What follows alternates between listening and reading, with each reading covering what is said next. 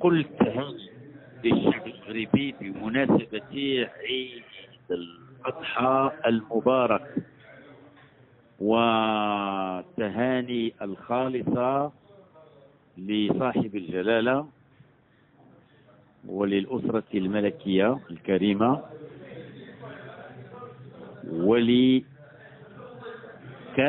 مكونات الشعب المغربي بالصحة والعافية والرقي